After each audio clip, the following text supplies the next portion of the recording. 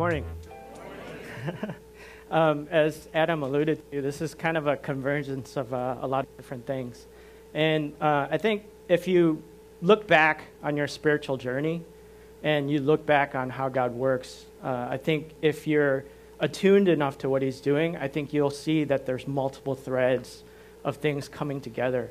And even with this message, um, you know, we're doing this series called Soul Care, where uh, we're examining all the different things that uh, occur inside and uh, especially emotionally that affect things further on the outside. Um, and so if you think of like an iceberg, um, you see only 10% of it. And so that was kind of the illustration that, that Adam used uh, in the weeks that he spoke. Um, and so one of the first things that we talk about in the, in the principles of the book that we're um, kind of basing this on is that you have to look beneath the surface because there's so much underneath. Um, and as we looked at that, we, we focused on uh, seven desires. There are seven desires that all of us have. Um, we've gone through six of them, and I'm doing the last one. And we actually changed the order. And, you know, I talked about convergence, uh, and the last one of these is, is touched. And it's really appropriate that it's occurring today because this is the first uh, Sunday of Advent uh, as we're kind of preparing for what, what it meant that Jesus came to earth. Uh, it's also uh, a day that we, we're going to have communion after the, the message. Uh, and so there's this real sense of what it meant for Jesus to actually come to earth, to physically walk among us. Um, and so just keep that in mind as we go through the scripture. Um, I wanted to share the story. I, I, was listening to uh, an episode of This American Life, and one of the things they were talking about is this couple that was dealing with uh, a parent that was wrestling through um, dementia. And, and so sometimes she would just go off the rails and just start talking about weird things that they just didn't know what to do. And, you know, the, the daughter who was, you know, her, her um, blood relation, she, she kept insisting, like, oh, no, that's not true. And she kept trying to steer her in the correct direction. Um, and she would resist because she was stuck in these, these moments that were disconnected from the current reality.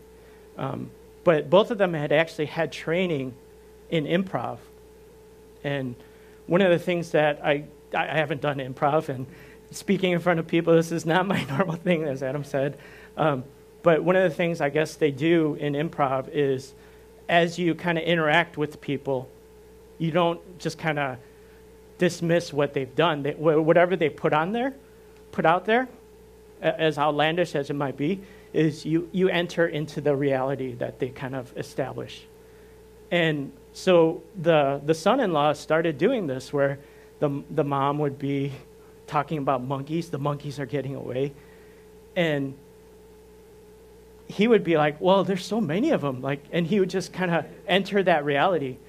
And at some point, she would realize, oh, you know what? This is kind of silly. And then she would kind of laugh along. And, and it really built up their relationship. And as I thought about this, this, this is something that I've experienced myself uh, in teaching kids, as I've done for, I think it's like 25 years I've done it. so it's been a while.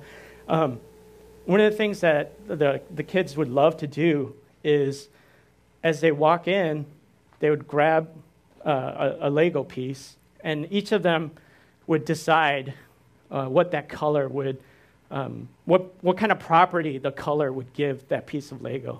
So, for instance, if they grabbed a blue Lego, they'd hand it to me like, it's cold, it's ice, and I'd pretend like it's cold. Uh, or they'd hand me a red one, and it would be a hot Lego, and so I would, I would juggle it around. And I kid you not, this is every week, every time they saw me, they would never tire of this. And there's something to this idea of entering someone's reality. And that's, that's what Jesus did. That, that really speaks to something deep within us that uh, not only uh, affirms us, but also kind of lets us know that you are with that person. And you know, we talked about uh, Christmas earlier, um, and we talk about presents, but um, this is something I, I can't remember where I heard it, but um, it's, it's good to focus not just on the presence, but being present with people uh, during this time. And that, that point, again, points all back to the incarnation. But it actually points to something even before that, because if you think back to Genesis, when, when God created man, one of the things he did was he put his hands into the dirt. And he got the dirt in his fingernails and he, he formed it together and then he breathed his words into the, the man, and the man came to life. Um, and so from creation all the way through, Jesus came to earth. And when he was resurrected, um, this is something that I think we overlook all too often is Jesus was resurrected physically. It was not just, oh, you know, the spirit of Jesus was still alive, but he actually appears among his disciples. He walks along some of them, and his mere presence walking alongside of them, they think back on it and they're like, didn't it feel like there was some fire burning in us when he was with us? And then he appears to his disciples who are scared for their lives. And Thomas, who's kind of skeptical, he actually feels the wounds that are still there, right?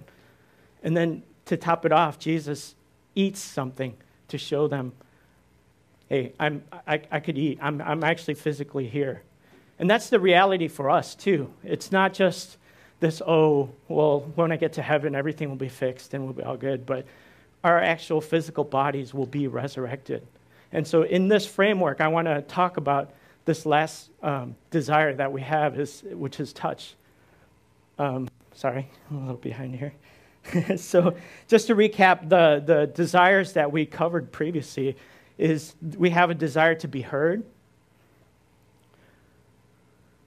Uh oh. I don't know why it's not. Oh, there we go. We have a desire to be affirmed by God. We have a desire to be blessed.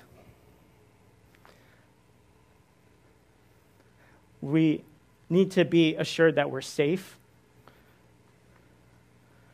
And also, um, Adam talked about being chosen, what it means to be chosen, and then what, what it means to be included. And today, we're going to talk about uh, that deep desire to be touched, which again is, is framed in, in this notion of being created beings, but also in um, having a resurrected Christ, a physically resurrected Christ.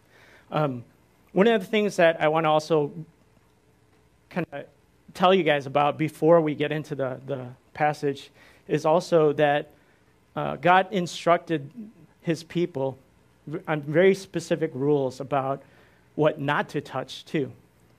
Um, and so, two of the things I'm going to focus on, uh, I'll talk about in a little bit. As I mentioned, there were a lot of rules about not touching things in, in Scripture. And uh, two of the ones that pertain to our passage are found in Leviticus 15, 19 to 33, and Numbers 19, 11 to 22, uh, which I just put out there in case you want to look into all the details. Um, because there's a lot of very specific points about if this happens, then don't do this, and you know keep it separate for seven days. Don't touch this.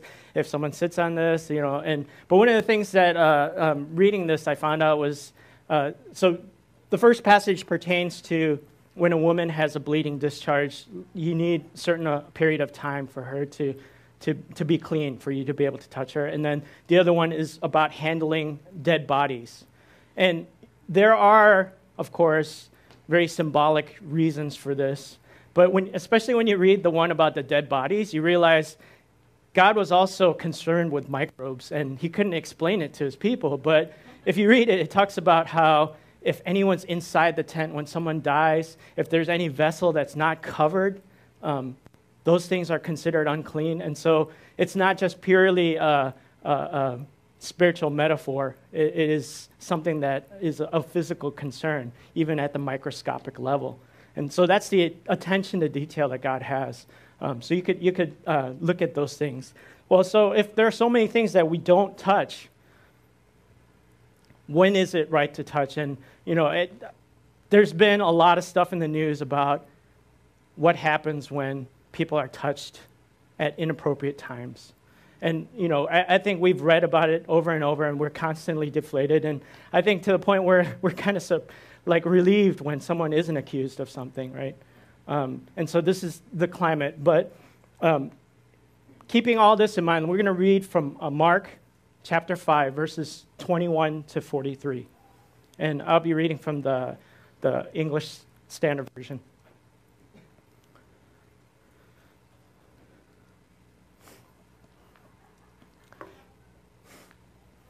Actually, before I do read that, let me just frame what's been going on uh, in Mark before that. Jesus had just found his disciples, and he's going through a little bit of a training period with them. Uh, I don't know if any of you have had any sort of training in different things, but as you train, you get what's known as like a muscle memory, or you, you get familiar with something, and it doesn't, it's not as scary when you face, face it. Uh, one of the ways I learned this uh, growing up in, in Chicago is we would have driver's ed, and one of the things they would teach us is skid recovery because it gets snowy and icy. And the way they would do this is they take this old driver's ed car and then cover, uh, put it out on the pavement that's covered with water. And they set out these cones. And while you're driving, the instructor would grab your wheel and, and hit his brake, sending you in a spin. And you're instructed to, sit, uh, to avoid hitting the cones because you're imagining those are people. You've got to figure out a way to not hit the cones. Um, of course, we actually I don't think any of us ever avoided the cones, but, but it really helped to experience that, like actually physically experience that, because when I did face skids, it, it wasn't, I wasn't overwhelmed by the shock of like, oh, what do I do? in this panic. And so this is kind of the same thing that Jesus is going through with his disciples right now. He's kind of walking them through, like, these are the different things that you're going to be doing once I send you out. Uh, he sends, sends them out a little bit later in, in, in the book, but he's giving them a, a, taste of different things so that they're prepared uh, for what's ahead.